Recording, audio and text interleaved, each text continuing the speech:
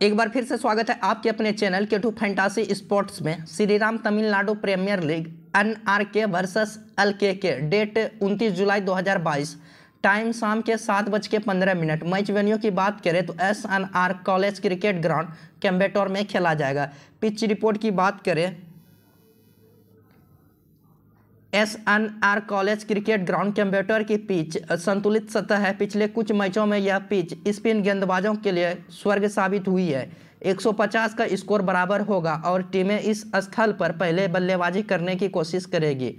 Weather report की बात करें, बारिश की संभावना 60 परसेंट के साथ बादल छाए रहने का मौसम पूर्वानुमान है। फाइनल टीम की अपडेट आपको टेलीग्राम की चैनल पर मिलेगा। टेलीग्राम चैनल ज़रूर ज्वाइन करें। डिस्क्रिप्शन बॉक्स में लिंक दिया है। अगर आपको वीडियो अच्छा लगे तो एक लाइक और सब्सक्राइब कर दीजिएगा। N R K cricket team injury की बात करें तो अभी तक कोई चोट अपडेट नहीं है।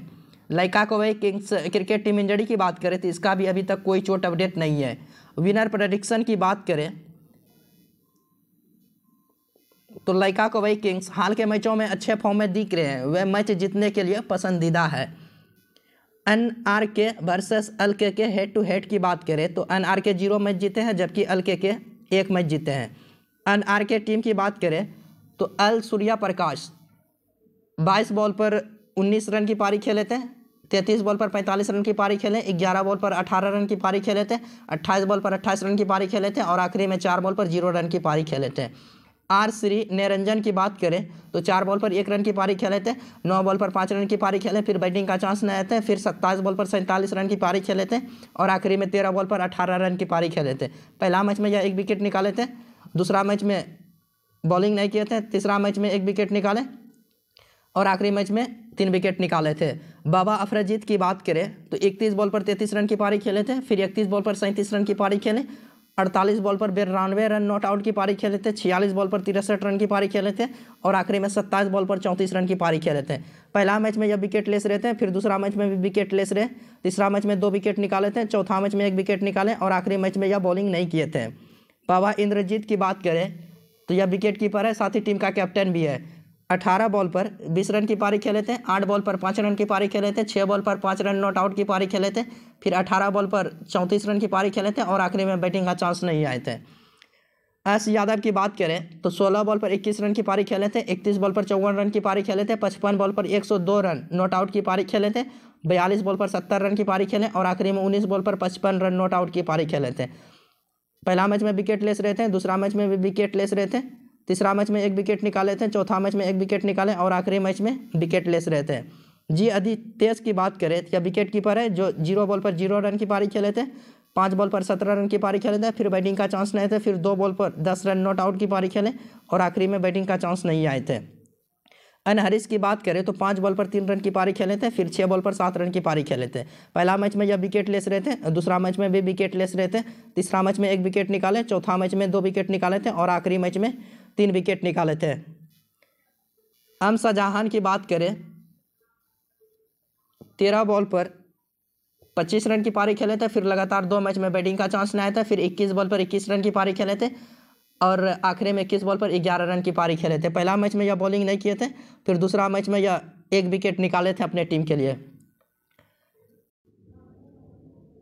भी अथी साया राज डेविसन की बात करें तो पहला मैच में दो विकेट निकाले थे फिर दूसरा मैच में एक विकेट निकाले तीसरा मैच में एक विकेट निकाले थे चौथा मैच में विकेट लेस रहे थे और आखिरी मैच में एक विकेट निकाले थे के ईश्वरन की बात करें तो पहला मैच में विकेट लेस रहे थे दूसरा मैच में विकेट लेस रहे थे तीसरा मैच में दो विकेट निकाले चौथा मैच में तीन विकेट निकाले थे और आखिरी मैच में दो विकेट निकाले थे अपने टीम के लिए के मणिकंदन की बात करें तो इसको एक ही मौका मिला था जो तीन विकेट निकाले थे अपने टीम के लिए बेस्ट प्लेयर की बात करें सी एच जितेंद्रा कुमार है जो 12 बॉल पर 13 रन की पारी खेले थे, फिर बैटिंग का चांस नहीं थे, फिर 9 बॉल पर 20 रन की पारी खेले और आखिरी में तीन बॉल पर एक रन की पारी खेले थे। अल के टीम की बात करें, जी श्रीधर राजू 40 बॉल पर उनचास रन नॉट आउट की पारी खेले थे, तैंतालीस बॉल पर अड़तालीस रन की पारी खेले थे, सात बॉल पर पाँच रन की पारी खेले थे, तीस बॉल पर सत्ताईस रन की पारी खेले थे और आखिरी में तेरह बॉल पर तेरह रन की पारी खेले थे। जय सुरेश कुमार की बात करें तो यह विकेट कीपर है, जो 21 बॉल पर 20 रन की पारी खेले थे 48 बॉल पर 75 रन की पारी खेले थे 44 बॉल पर तिरासी रन नॉट आउट की पारी खेले 22 बॉल पर 32 रन की पारी खेले थे और आखिरी में 11 बॉल पर 15 रन की पारी खेले थे। साई सुदर्शन की बात करें तो पहला मैच में बैटिंग का चांस नहीं आया था, फिर 18 बॉल पर 35 रन की पारी खेले थे, इकतालीस बॉल पर अड़सठ रन नॉट आउट की पारी खेले 25 बॉल पर 27 रन की पारी खेले थे और आखिरी में 24 बॉल पर 27 रन की पारी खेले थे। अस खान की बात करें तो यह टीम का कैप्टन है, जो पहला मैच में बैटिंग का चांस नहीं आए थे, फिर छः बॉल पर तीन रन की पारी खेले, फिर बैटिंग का चांस नहीं आए थे, फिर अट्ठाईस बॉल पर इक्यावन रन नॉट आउट की पारी खेले थे और आखिरी में तेईस बॉल पर चौबीस रन नॉट आउट की पारी खेले थे। पहला मैच में, पहला मैच में यह विकेट लेस रहते हैं फिर दूसरा मैच में दो विकेट निकाले थे, तीसरा मैच में विकेट लेस रहते हैं चौथा मैच में भी विकेट लेस रहते और आखिरी मैच में दो विकेट निकाले थे या अपने टीम के लिए। यू मुके लेस की बात करें तो पहला मैच में बैटिंग का चांस नहीं था, फिर दो बॉल पर चार रन नॉट आउट की पारी खेले, फिर बैटिंग का चांस नहीं था, फिर पाँच बॉल पर दो रन की पारी खेले और आखिरी में पाँच बॉल पर छः रन की पारी खेले थे। एस चंद्रन की बात करें तो पहला मैच में बैटिंग का चांस नहीं था, फिर चौदह बॉल पर सत्रह रन की पारी खेले, फिर चौदह बॉल पर सत्रह रन की पारी खेले थे, फिर बैटिंग का चांस नहीं थे और आखिरी में बीस बॉल पर तीस रन की पारी खेले थे। एस अजीत राम की बात करें तो दो विकेट निकाले थे पहला मैच में, फिर ज़ीरो विकेट, फिर दो विकेट, फिर एक विकेट और आखिरी मैच में एक विकेट निकाले थे। आर दिवाकर की बात करें तो एक विकेट, तीन wicket, zero wicket zero wicket और आखिरी मैच में दो विकेट निकाले थे अपने टीम के लिए। ए तानवर की बात करें तो पहला मैच में बैटिंग का चांस नहीं आए थे, फिर तीन बॉल पर दो रन की पारी खेले थे, फिर बैटिंग का चांस नहीं आए थे, फिर बारह बॉल पर अट्ठाईस रन की पारी खेले और आखिरी में दो बॉल पर एक रन की पारी खेले थे। पहला मैच में एक, दो विकेट निकाले थे और फिर अगला मैच में एक विकेट निकाले, फिर एक विकेट निकाले थे, फिर तीन विकेट निकाले और आखिरी मैच में भी तीन विकेट निकाले थे। बी सूर्या की बात करें तो एक विकेट निकाले थे, फिर ज़ीरो विकेट फिर तीन विकेट फिर एक विकेट और आखिरी मैच में एक विकेट निकाले थे। जी आर मनीष की बात करें तो लगातार दो मैच में बैटिंग का चांस नहीं आए थे, या अपने टीम के लिए बॉलिंग किए थे जो पहला मैच में विकेट लेस रहे थे और आखिरी मैच में एक विकेट निकाले थे अपने टीम के लिए। फाइनल टीम की अपडेट आपको टेलीग्राम की चैनल पर मिलेगा। Toss and playing eleven batting order के लिए टेलीग्राम चैनल ज़रूर ज्वाइन करें। डिस्क्रिप्शन बॉक्स में लिंक दिया है।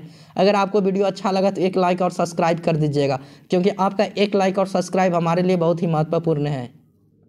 प्लेयर की बात करें तो विकेट कीपर से जे सुरेश कुमार को रखें, अब बैट्समैन से साई सुदर्शन को रखे अल सूर्या प्रकाश को रखे, जी श्रीधर राजू को रखे, ऑलराउंडर से एस यादव को रखे, बाबा अफरजीत को रखे ए तानवर को रखे हैं और एस खान को रखे। हैं और बॉलिंग से ए डेविसन को रखे। हैं बी सूर्या को रखे हैं और के ईश्वरन को रखे। हैं कैप्टन की बात करें तो कैप्टन एस यादव को रखे। हैं और वाइस कैप्टन बाबा अफरजीत है।